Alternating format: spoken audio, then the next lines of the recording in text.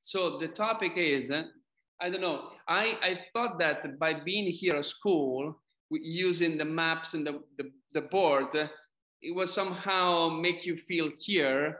But I'm realizing now that yes, maybe it was a good feeling idea, but maybe not really practical. Whatever, we make it work.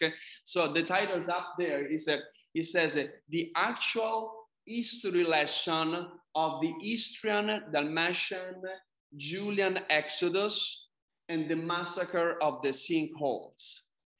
Okay. So essentially, we're going to talk about uh, this um, coexistence of Italians and Slavs in the former Yugoslavia, and most precisely in what is nowadays Croatia, and uh, in a period that uh, I have here some timeline, and I'm going through this and explain you a little bit of the historical background, but essentially, especially during World War II, this coexistence uh, ended up being a massacre because the Tito's, you know, the Marshal Tito's uh, right. soldier killed Italians in a very awful ways. At the same time, Italians that were there for a long time were forced to leave, and that's why the Exodus. Okay, right.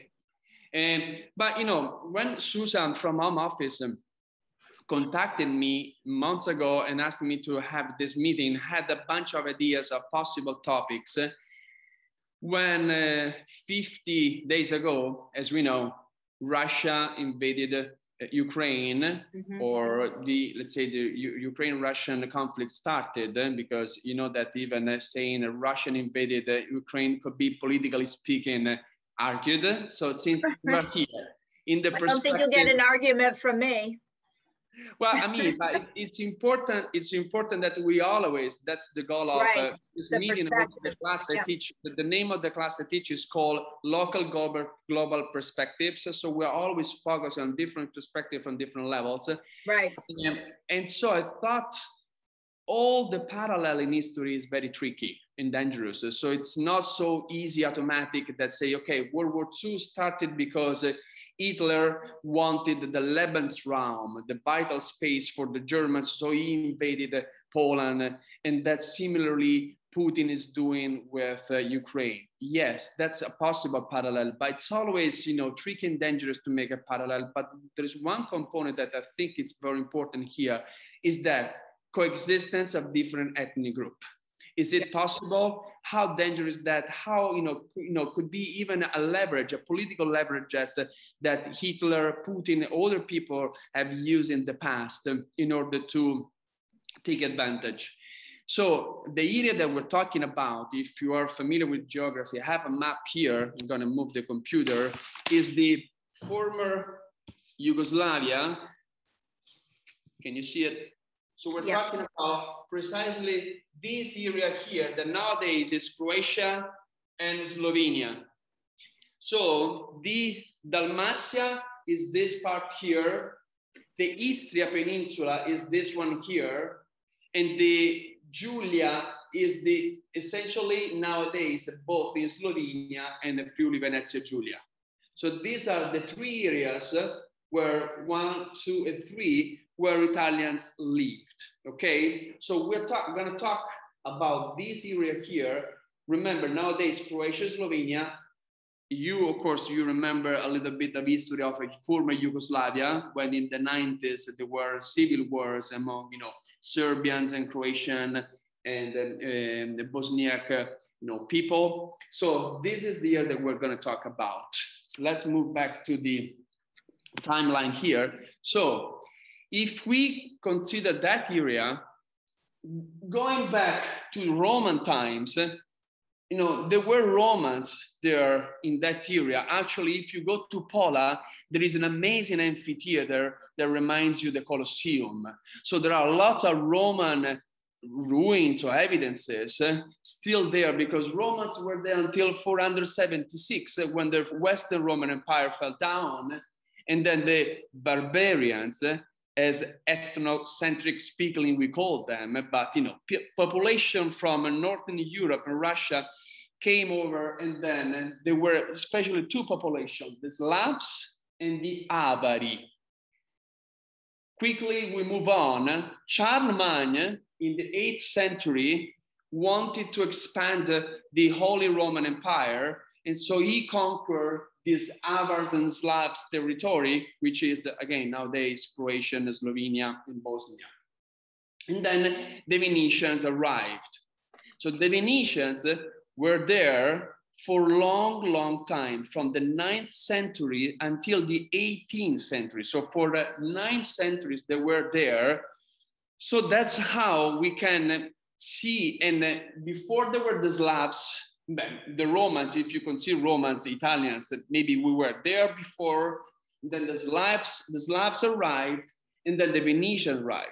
But what I want to stress here is that the coexistence between Italians, there was not such you know concept now back then, but Italians and Slavs was peaceful. There was no conflict. It was just people speaking different languages, different having different culture, different habits, but they perceived, let's say, ethnically speaking, different, but not politically speaking the situation became messed when, when in the 1800, and more precisely 1848, there was the so-called Primavera dei Popoli, the spring of people. The national nationalism concept was more and more emphasized in the 1800, and so there it started the problem. In the meantime, the Austro-Hungaric Empire was around, and then he, the, the Austro-Hungarian Empire took over and those, that territory became Austria. So Austrian Italians, we were fighting because Austrians were also in the northern of Italy. Um, Lombardia, Veneto, Trentino, we had several independence wars with them. So see how smart the Austrians were they used the presence of both Italians and Slavs there on their own advantage. They bet on the Slavs uh, because they were fighting with Italians in northern Italy. And so they gave advantages to the Slavs uh, and they started to discriminate Italians that were living there, putting them Italians in concentration camp, negating all kind of uh, civil rights, political rights, and there was a strong Germanization, Slavization, meaning there was no way that you can speak Italian, learn Italian around there, but the only you know, allowed languages were first German and then Slavs, if you want. That was for a long time until World War I started. We are in 1940, 1914, 1918, right? World War One. And so Italy, in that war, we fought in the right side, let's say, with uh, France and England. Okay. And, and the Germans and Austrians were our enemies. And we won. We definitely can say we, we won that war. And so because our victory, we were able to expand our borders uh, again there. So no more Austria there. It became another time Italy. So all the, the one that I showed you before, the um, Dalmatian Peninsula and Istrian Peninsula became again Italian. 1922, Mussolini arrived in Italy. So what happened? Both in Italy, but also there, Mussolini started to emphasize the Italianità. He wanted to be Italian, he wanted to recreate the Roman Empire grandeur, right? And so, especially in the, you know, in the what we call fascismo di confine, meaning the fascismo nearby the border, that in that era specifically, Mussolini started to do what Austrians did with us. Italianization, no more speaking of any other language than Italian, discriminations, Supreme Court and execution of Slavs. So from 1922 until 1941, Mussolini and the fascism did exactly what the Austrians did to the Italians. Incredible, isn't it? Yeah, I mean, this, what I just said is very important because there are lots of people you will see afterwards that essentially were, con- are, were considering. See, and uh, were considered the Italians living there equation They were living there, so they are fascist. Period. There was no way. So it was an easy equation, and you will understand more. There's a afterwards. So right. essentially, Mussolini created this Italianization, execution, no Slavs, etc. And then 1931, World War II started. Italy will enter in the war in the 40. And we again invaded Yugoslavia because Mussolini was not only happy. Oh, I'm speaking English. Sorry, I just realized that. Let's go to Italian. Nobody said anything. Okay. Uh, so, 40, so 41 Mussolini invade la Jugoslavia perché lui vuole espandere, vuole tutta la Jugoslavia, non solo il territorio che aveva. Quindi diciamo che la guerra, la guerra in Jugoslavia dura dal 41 fino al 45. Che succede? Quindi una cosa molto interessante, nel 41 quindi c'era l'occupazione italiana in German, in tedesca, but at the same time, look, we had multiple internal conflicts in the territory. Uh, Serbian versus Croatians, Serbi contro Croati, Italiani versus Sloveni. So there were conflicts within a conflict, which is, again, the coexistence of ethnic groups that for centuries worked. Now they couldn't live together. They were always somehow fighting, although they had a common enemy. Italians and Germans, uh, they were still fighting and killing them, each other. This is a very important detail if you consider the what will happen the civil war in the 90s. Okay? Quindi 41. Then we go on a very important date for Italy, una vera data importante per l'Italia, which is 8 settembre 1943. Here we are. 8 settembre 1943. È il momento dell'armistice, armistizio, cioè gli italiani non più con Mussolini e Hitler, ma with generale Badoglio stiamo con gli alleati. È una data importantissima you know, Mac is here this year, and then we talk so many time about that because Nazi occupied Italy after that the Allies started bombing Italy because of that. You know, Italy was destroyed by Allies, including Viterbo, where I am right now, because it was occupied by Nazi. E quindi la situazione anche in the former Yugoslavia, Nazi occupied also that territory. Quindi la conseguenza è la Germania occupa la Jugoslavia after the 43 bombing alleati, quindi c'è un grande bombardamento dagli alleati, in particolarmente una città che si chiama Zara, was is called the Balkanic Dresda. Dresda in Germany was destroyed by the Allies.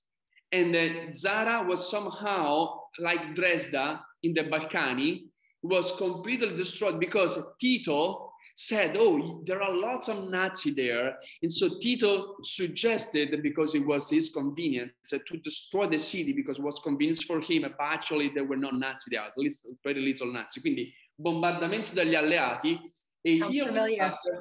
Sorry? Sounds familiar these days. Yeah, exactly. Denazification of Zara. esatto, esatto. And for the first time we're here, we see the Foibe and the Esodo. So we are talking about the Foibe and the Esodo after the armistice, after September 43. So for the first time, Tito which is it was the communist partisan, it was still a partisan back then, started to kill Italians in the Foibe, which later will explain exactly how the Foibe worked, and the esodo of the italiani da quella zona comincia. Gli italiani cominciano ad abbandonare lentamente quel territorio, abbandonarlo per tornare in Italia, ovviamente. E la guerra finisce, 45, 1945, quando finisce la guerra, un generale americano, Morgan, he drew a line, like if you're familiar with Cyprus, there there is a green line, right? Here there is the Morgan line. the Morgan line was divided in the zona A and the zona B. Still there, we are up there in the Slovenia, Croatian, and Friuli, Venezia Giulia area. Zona A was the under the British control. Zona B was under the Yugoslavian control. Quindi there was no Italy involved because we lost the war. E quindi they created a zona A e zona B controllata dagli inglesi e dagli eh, jugoslavi. Quindi siamo giugno del 45. Un'altra data molto importante è 10 February 1947, perché è la data del Trattato di Parigi. World War II is over, all the people, important people were in Paris to meet, to, to sign the treaty uh, no, at the end of the World War II. Perché è importante? Nel Trattato di Parigi l'Italia perde tutti i territori della, della former Jugoslavia we lost the war, they say you're going to lose all your territory there. Trieste, which is nowadays is a Italian city, which is an amazing city, it was not Italy until 1954 because it was considered um, free territory. There was a territorio libero di Trieste until 1954. And they reduced the zona A, the zona A became smaller, and the zona B bigger. So Yugoslavia got much more control, and the English army have a little part of zona A. Again, Esodo. So Italians keep, you know, fleeing and then escaping Yugoslavia. 1954, as I said, Memorandum of London, che significa che tutti accettano questa situazione e Trieste diventa Italia. Quindi nel 54 Trieste is officially Italy. One important, so everything I said here, I don't know, you tell me. It seems not that there is not so much to argue, right? It seems pretty objective. Well, was not that easy. I guess that we need to wait until 1975 when Yugoslavia, with Tito still alive, and Italy signed the Treaty of Osimo, which officially recognized the mutual territory. So essentially, when I was born, 75, they finally, Yugoslavia and uh, Italy accepted essentially the borders as they were uh, decided both in the 47 and in 54. So only 40 plus years ago, let's say there was a sort of a, a pacificazione, ok, tra Jugoslavia. Tito muore 1980, 80, Tito muore e che succede? Conflitto in Jugoslavia. 1991, 1999, con guerra civile, you know the story probably, no? C'è eh, Croazia, Slovenia, indipendenza, giusto?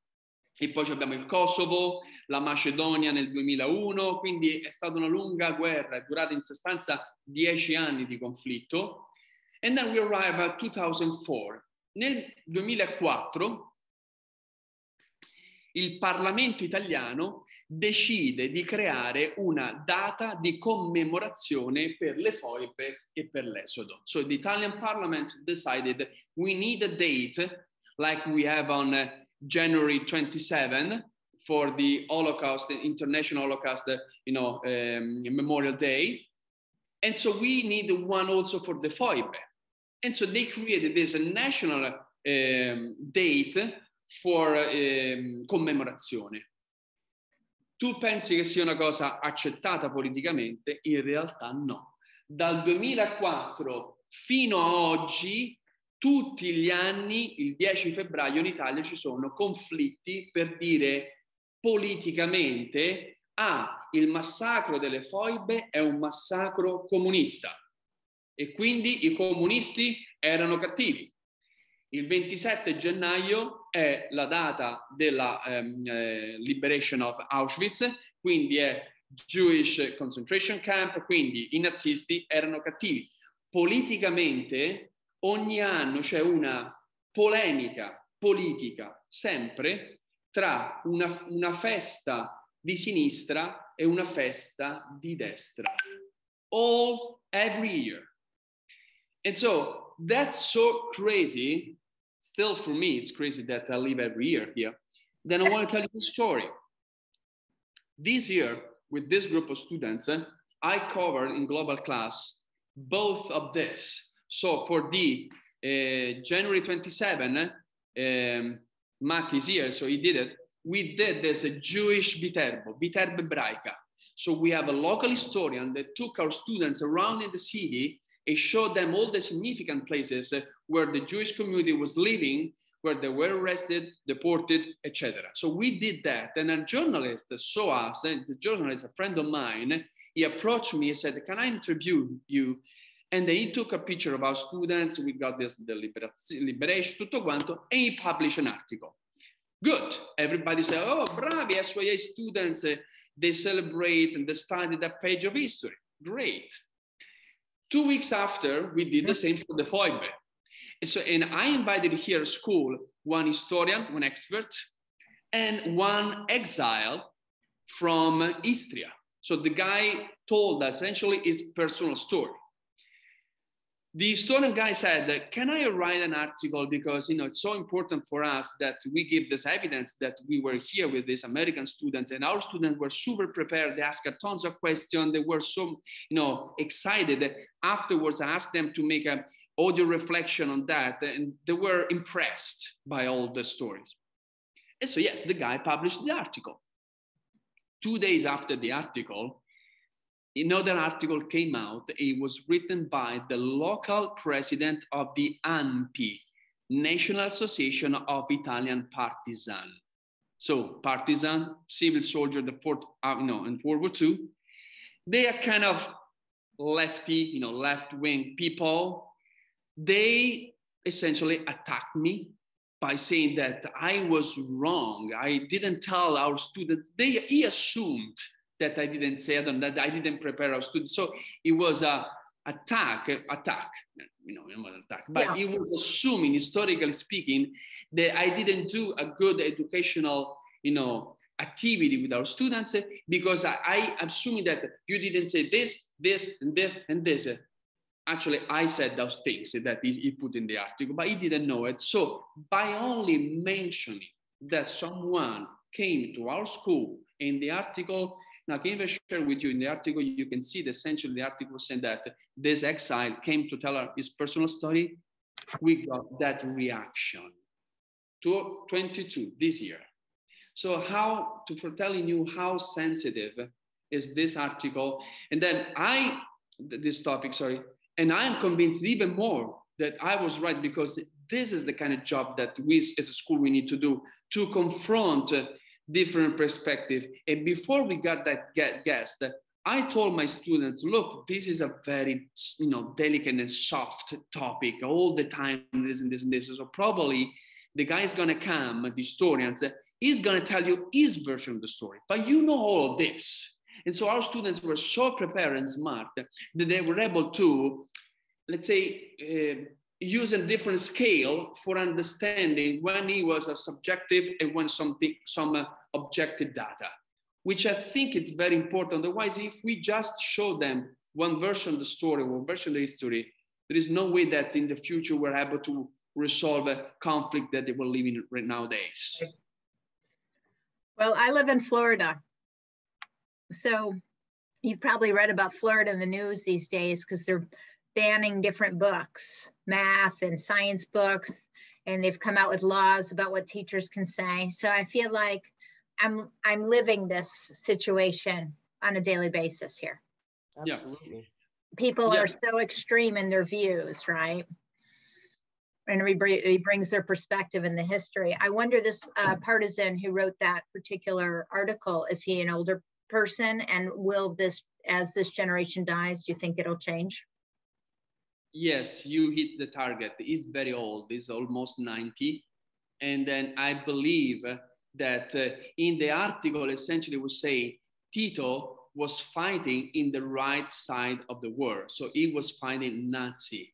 So no matter what he did afterwards, because Tito, he was, uh, a dictator and he killed a lot of people in Yugoslavia. No matter what happened after, he wanted only to recognize and to acknowledge that in that historical moment, he was right. Not considering nuances of, well, maybe it was right. I mean, even Stalin was right because he fought, you know, Hitler, but then he killed 20 millions of people. How, I, mean, I don't know, to me, this kind of a mentality is not, you know, mentality that can help us to go ahead somewhere, but just always look, you know, back uh, and then uh, with some, you know, retrospective, let's say, that doesn't help us and the students to really understand the complexity of this. Right. And um, yeah, so that I want to that. So we essentially, if you see in only in 2020, so two years ago, our Italian president Mattarella was able to be with the Presidente della Repubblica Slovena, so only in 2020, meaning after 75 years, the two presidents were together on, um, on the edge of a foiba to commemorate, to, to acknowledge the victims of death. So that happened just two years ago with Mattarella president. So I want to show you here how the foibe worked. So foiba, no, from it's a, essentially from Latin means it's a hole, it's a sinkhole, which is a, a geological, you know, hole that was created with the water in the Karzik mountains. They are, let's say, above Trieste in that area. So a foiba is a, this big hole where people were killed in a very cruel and crazy and cruel way. So they were all connected on the edge, like 20 people at the time, all tied with uh, calf or iron uh, shred, thread. And only the first one on the line was shot on the head. So they were saving bullets. And by the gravity, it was fell, falling down. All the others, because they were tied together, they were falling down with him. So in this way, of course, the first one was dead, but all the others, uh, they could be alive for days there. And, and so in this way, since these holes were so deep and they can be uh, 150 feet or even more, 80, 90, 100 metri profonde, the, the, let's say, the rescuing of the body was not easy. And so there are still Nowadays in Croatia, Slovenia, foibe that never been discovered because afterwards, oftentimes they just close it here and so you don't know where they are. Chi ha, chi ha inventato questo? Allora, questo sembra che è una cosa che succedeva già da prima, accidentalmente, nelle foibe che, che, hanno trovato, era una cosa strana perché ci buttavano il trash molto spesso, quindi hanno dato trash, hanno trovato persone che maybe accidentalmente sono cadute e ci hanno trovato cani, dogs, perché siccome una, una leggenda vuole che c'era una superstizione e quindi se tu uccidevi cruentemente qualcuno, un cane nero, according to the superstition, could save, you know, your soul because essentially, I don't know, Ah. Una superstizione, non make any sense, ma in qualche maniera hanno trovato anche cose di mh, cadaveri di body di, di cani. Chi ha inventato, quindi è difficile dirlo, ma we know for sure that i soldati di Tito lo hanno fatto meccanicamente, no? Come diciamo i concentration camp, they always existed, right? Because we knew that. Do you Hitler, know how, how, many people more or less went, were uh, massacred this way? Eh, guarda, here the sources have very complicate.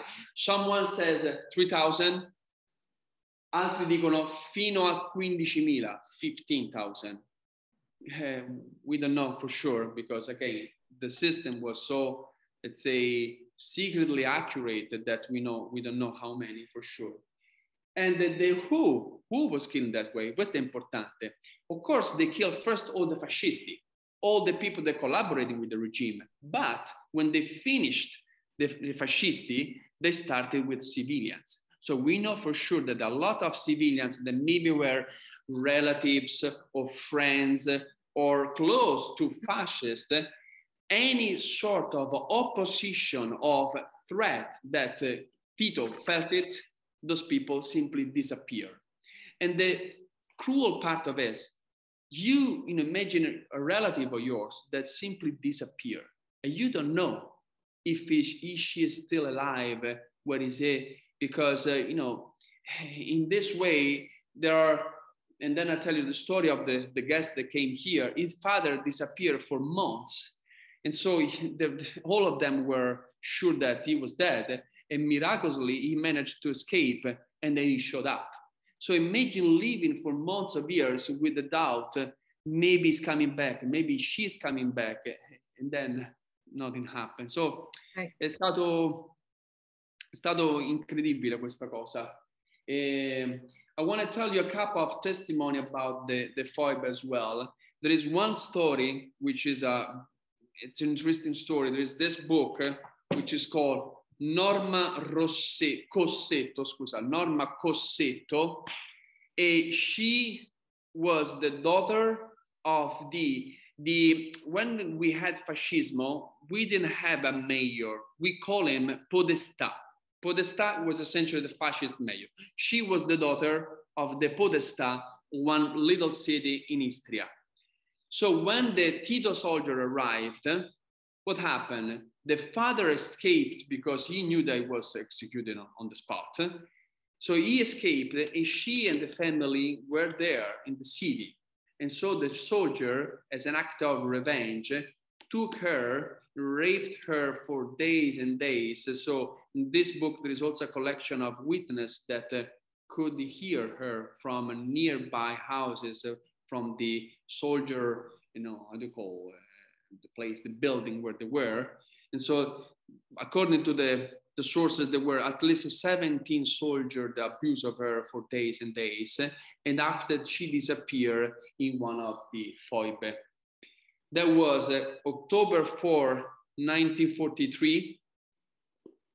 And, uh, and so only recently, the guy that I invited here in the school decided to create a commemor commemor commemorative date for Norma here in Viterbo, which is called, Viterbo is famous for Santa Rosa. Is this saint that every September we you know, have this machina, is this huge 36 meters uh, machina tall with a lot of, uh, you know, Santa Rosa is, uh, I don't know, it's like St. Patrick in Ireland for us. And so the initiative of commemoration is called Una Rosa, a rose, for Norma. So it started here in Viterbo, and now after a few years, uh, according to the book, there are also pictures here, this commemorative day is happening even in New York, in Washington, D.C., so all around uh, the world, in Ireland and everywhere in Italy. In New York, uh, I can tell you because in New York, no, in Washington is in, in uh, near is um, on the Guglielmo Marconi statue. In New York, I don't know. In New York, they just put it a rose, so we know for sure that somewhere happened in New York as well.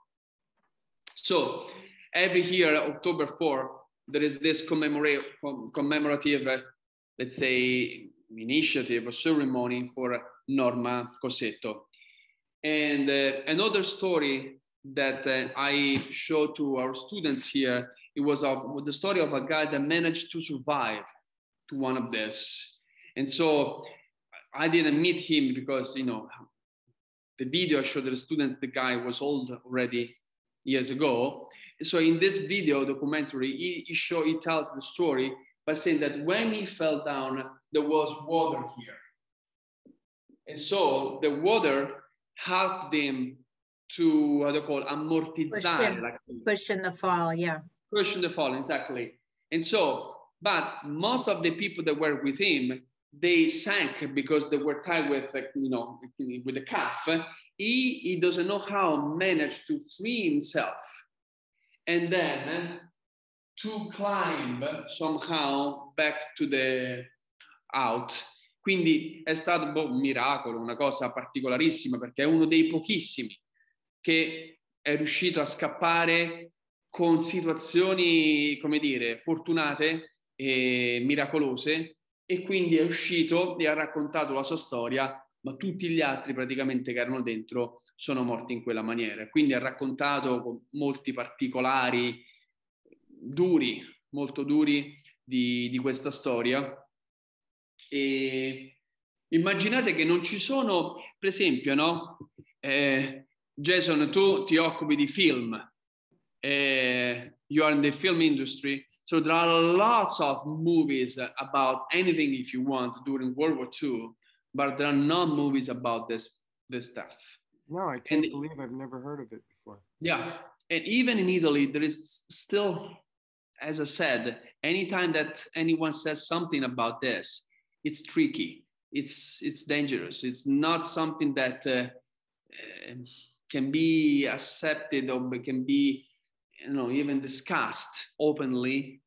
And then um, it, it's a shame because again and this is i hope i gave you not only the italian perspective of course in this story here the victims are italians but we know for sure that during the fascismo the victims were slavs. And so it's not that uh, in one of the book I read, um, you know, about this topic is it's not a justification. There is no justification of revenge. So since you did this, because the Austrians before and then the Italians, so there's no justification. You need to talk about this. You need to teach this stuff, and the students can take the lesson they want. But it's important that we talk about this, you know, conflict for having possible resolution in the future because this is not a way of resolving anything. Right. Yeah. And um, the most interesting thing is the nine centuries that everybody was able to get along. Absolutely. I mean, nowadays we, we see this raised of nationalism, you know, everywhere in America, in Europe, I mean, see Russia and I mean, China, everywhere. So the nation is still, you know, the polar, you know, star that guides all our initiatives, all our policy, or you know, foreign policy and internal policy, whatever. But uh, if you see here, the, the problem started in the 1800 when the, con- the, con- the concept of nation became so powerful that we started not to recognize each other as, oh, he's Slavs, he speaks Slavs. No, he's Slav, is my enemy. So the idea of a nation somehow, it's implied with uh, us and them. If you create an us and them, uh, we end up probably to have a, a possible conflict if there is uh, some kind of issue that you want to resolve, especially if you live in the same territory. See Hutu Tutsi if you want, see nowadays uh, with uh, Russia and Ukraine, and then um, World War II, the same, this equal, this, the civil war in Yugoslavia again. And polarization is not helping. No, of course not. It always seems to be about um, power um, that is able to mass control through fear, and you know that that's the rise of fascism, that's the definition of the rise of fascism is being able to control the populace through fear and through, like you said, pitting us versus them so that people stop even understanding who their fellow human beings are, you know? Yeah. The only but that's the happening. issue is. Yeah, Sorry. no, what the basic issue is, you know, because it becomes such rhetoric. Absolutely. Yeah. And that's happening in a lot of countries with you know political polarization. So I know for sure in America, you know, discussion between uh, Democrats and Republicans are not possible. I mean, there are still more and more devices that uh, it's hard to have a real conversation and confrontation about, you know, themes that we think differently. Here in Italy, exactly the same. See no. in France, Le Pen, Macron, everywhere. everywhere. No, because because we see there's a few people who are making a power grab, and the only way they can make the power grab is through disinformation and sowing hate, you know. And the only way that's possible is if there's a mass of people who are underclass, who are desperate, scared, And when they're afraid, they, you can believe anything, you know? There, is one final part of the story that I want to share with you, and then, uh, and then we can finish. It was about the Exodus. So, mm. told you about the Exodus. Uh, we're talking about 300 or 350,000 left uh, the uh, Zara and the Istria and the Dalmatia. 300, 350,000 from 43 until 54. We're talking about, let's say, even, even more. So let's say more or less 15 years. In 15 years, over 300,000 people left the Dalmatia, and then from Zara, Fiume, Pola, these are the most famous cities. They went back to Italy. The crazy story when I we had this guest, and I have also a friend of mine that I just discovered recently that she had um, Istrian and uh, uh, Dalmatian parents. Uh, when they came back to Italy, Italians were not happy with them. So you think that these people were living there, suffering essentially the persecution of Tito soldiers. They decided to go back to Italy, their you know, homeland, and the Italians were accusing them to be fascist. So they didn't welcome them, not at all. So the assumption was, well, especially from communist people, well, you are living in paradise. You are living in a communist country. Why are you living? You must be fascist. So that was the assumption. So for these people, fleeing Tito's persecution, going back to Italy, was a double shame. And speaking of shame, there, there was a infamous or famous train chiamato il treno della vergogna. You know, they flew, flew from the uh, Istria Dalmatia both with a boat or with the train or sometimes with cars. But when they flew from uh, Zara, they were going to Ancona. Ancona is a port in the center of mm-hmm. Italy. Right. From Ancona, the infrastructure allows them to go from Ancona either to the south or to the north with train because every big city of Italy were kind of accepting or getting, if you want, those exiles. So one train left Ancona and then he was heading to the north.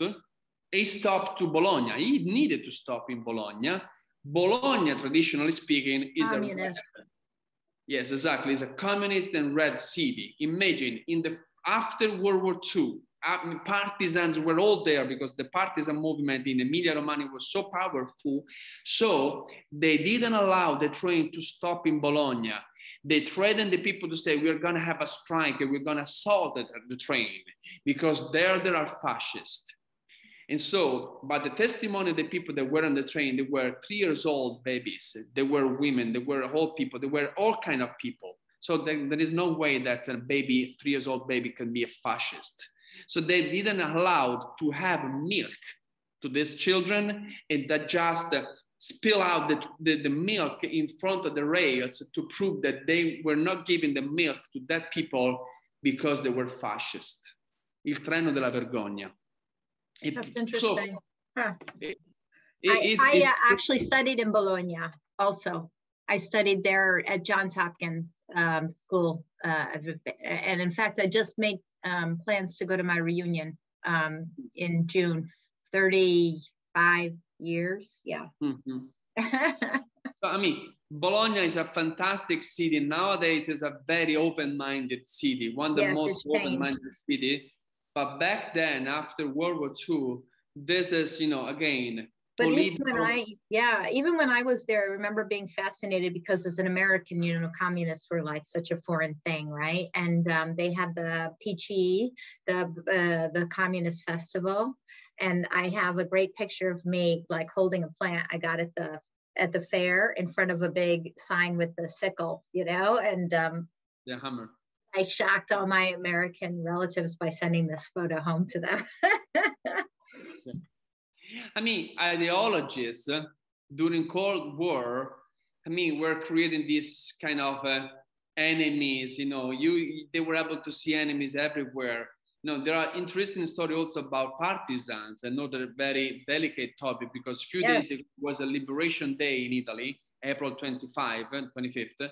And so if you say that, I mean, partisan, it's true, they freed Italy. They freed Italy from Nazi. That's true. Uh, definitely in the north of Italy, that was true. But they were also criminals. I mean, they were both true. I mean, they killed people for personal revenges. They killed people because for pers- political revenges. They killed priests because they were communists. I mean, they're both stories true. They freed Italy, but it is not black and white. Of course, there are a lot of nuances in the middle that you can't say that. So even Liberation Day, that somehow is the 4th of July, like for you guys, here is not an everybody, you know, celebration right. day. There are still some kind of uh, polemics. Polemic. And, mm. Yeah, exactly. I um I went on a hike from uh, Bologna to Florence one time and um, saw some of the areas kind of like these foibe where they had um, shot the partisans outside of Bologna and sent them off the cliff. There was a huge massacre. Mar- Marzabotto. I think mm-hmm. you're referring to Marzabotto where over almost 2,000 people were massacred by Nazi. Yeah. yeah. As a retaliation because you know the the rate was that if a partisan killed one Nazi, ten Italians need to die. So that was the the, the ratio. The, huh? Yeah, the ratio. Yeah. And so yeah, and that that's it. So we I'm glad we had the chance to uh, make you know somehow conversational, and so this is what uh, we are talking about also here with the students that we covered this, and they had the chance to to meet this exile. The exile we had here, it was a um, former military, he was a retired general. His name is Antonio La Ruccia. So his, his story is crazy. So he, he was a six years old kid, you know, in that, you know, that time. And so his father was a cop, a fascist cop, of course. But, you know, even say, you know, when I say fascist cop, I mean, he's fascist, right? But Antonio, when he was here, said, I mean, he was a, a decent man because uh, absurdly, there were also fascist people that were decent people. And so, since he was a, a good guy, when all the cops of the place where he was serving were arrested, all of them were executed, but the father. So that's why he managed to survive. So what happened? So the family left, the father was arrested. So Antonio, as a kid, they went with his family to Verona he was waiting there for his father, waiting, maybe not waiting. I mean, he didn't know anything about it. And so the father, Antonio said, he was a very decent man. So probably someone among the soldiers of Tito that were a local remind and remember some favors, some, I don't know, good action the guy did. And so because of that, he was liberated. He managed to escape to make it back to Verona to meet his family and so and after that uh, they moved in different places in italy because that was also the uh, the exile so being from verona they went to milan and they went back to rome and from rome to viterbo Eh, and so they managed to have a good life uh, because uh, fortunately the father the father have, had a good connection but was not always the case a lot of exiles struggled for years to find a job because they were coming from there. Right. So not license for selling anything you want. You know, so I know for stories of people that were in Florence or in Milan, they couldn't have a license for selling meat as a butcher or other license because they were from Istria, especially in the northern region, Umbria, Toscana, Emilia Romagna, all historical communist regions. So where eh, presidente della provincia or comune, il sindaco, or in the administration were all left wing, so there was no way that they could have a you know a job. So for a long time was a very very difficult situation for these people. No, it's fascinating. It's amazing. Yeah. And I'm so glad the kids are studying that. I really am. And that they got to meet those people. That's an amazing yeah. opportunity uh, until they are alive that's you know the the living memory of this because i mean the other lady that she lives in viterbo anna I mean, she's uh, 65 and uh, she grew up in the Quartiere Giuliano Dalmati in Roma. In Roma, there is this big neighborhood that they created in the 60s uh, for hosting all the exiles. So she grew up there. And so she has story of uh, being there in the neighborhood with this all the exile, exile people. And she said, I was lucky because my father has a job. But most of the other people, they didn't have a job, so they were needed to stand in line for getting the food, like in the, how do you call the, uh, what's the word? Well, like the welfare office. Exactly, you know, when they assist, you know, Caritas, the Mensa, the cantina, and where you Yeah. get food, you know? Yeah, the food, so- the soup kitchens, I guess. you're So looking- pigeon, yes, yes. So, so imagine how humiliating it is for people that had a job. You know, the mother of Anna, she was the owner of a bar in the city in Istria. And one day for another, the soldier arrived. They say, "This bar is not anymore yours. That's the uh, that's from you know that's Stato, from bar di Stato. If you want, if you behave, you can keep working here. Otherwise, that's the door you need to go." And she accepted to be there because she needed money. And the father went to Rome by himself uh, for preparing the escape. So the father left first. He was in Rome for preparing the house. He found a job for only because he was working with an insurance company there that also have a seat in Rome. And so then she managed to illegally to escape from there where she was working to meet the, the, the, husband, the future husband there and so they had a life. But otherwise, there, one day for another. She had a bar, she had a cafe, and the day after, she was an employee there. Hmm. Wow. I had no idea about this, um, this, um, number of Italians in that region. I mean, I, I knew that the, there was flux back and forth and the fighting between, you know, the territory move, but I had no idea it was so populated by Italians.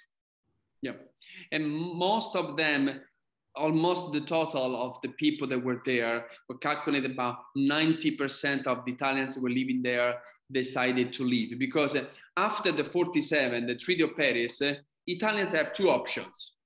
You can stay, but if you stay, you need to forget Italian as a language, as a culture. So you don't need to consider yourself anymore as, Ita- as Italian, or you can go. So this this was the options. So I know the, of story of people that, that they felt so radicated there that decided Italians or not, I want to be here.